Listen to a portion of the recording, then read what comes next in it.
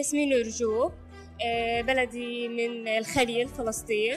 آه، مشاركتي بلمة هو بفيلم قصير آه، بيحكي عن القضية الفلسطينية بيعرض القصص اللي إحنا عارفينها والصور اللي إحنا بنشوفها دائما عن النكبة عرفت عن لمة من صديق كان بينظم بلمة وبيشارك فيها برضه.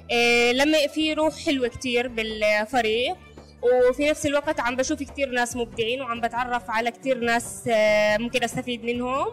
وبكيف إنه بيدعم القضية الفلسطينية وبيحكي عنها وبينشرها. آه، أكيد أكيد. هو يمكن من أهم الأشياء اللي ممكن الواحد يشتغل عليها ليقدر يوصل فكرته ويوصل قضيته. آه، هلا الفن الهادف هو الفن اللي بيطلع لما بتآمن بقضية عن جد.